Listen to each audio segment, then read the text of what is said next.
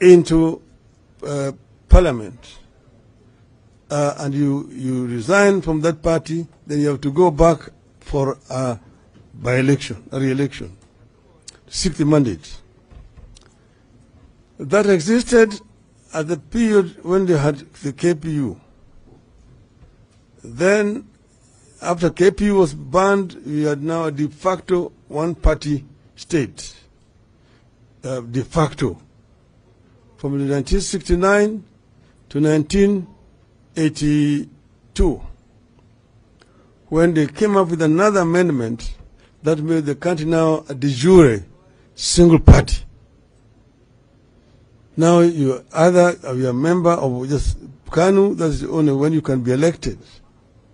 And if you were uh, suspended or expelled from the party, you automatically lost your parliamentary seat. And by election was, was held in your constituency.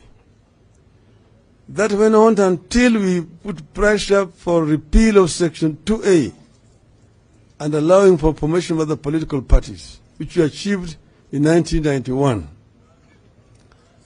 After that, we had the first multi-party elections in 1992.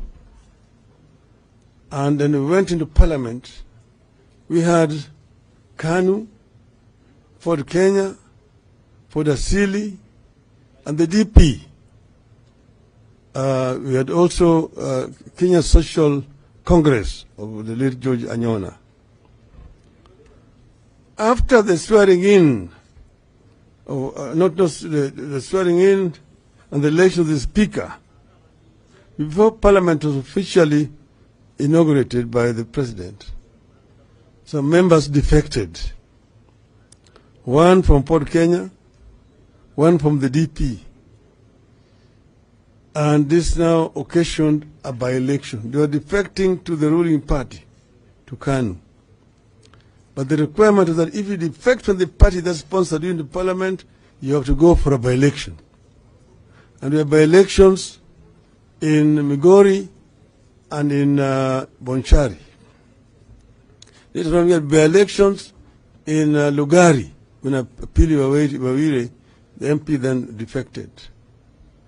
There was also a by-election in uh, um, uh, Hamisi when the member of parliament, Mr.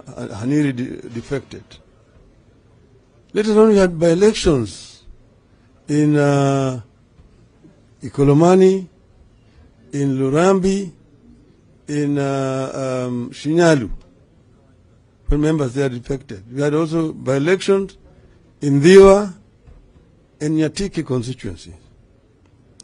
Each time a member of parliament left the party that sponsored them to parliament, they had to resign and go and seek fresh mandate. That was the rule. I myself resigned from the party that had sponsored me into elections, Ford Kenya, when we disagreed irreparably with the leadership. I resigned and went and sought a fresh mandate from the people of Langata. And I was re-elected. This was the, the, situation during all that period of time until now we came to 2010 constitution. The 2010 constitution now created a presidential system of government. But all the same, it still, it says clearly that Kenya is a multi-party democracy. Kenya is a multi-party democracy.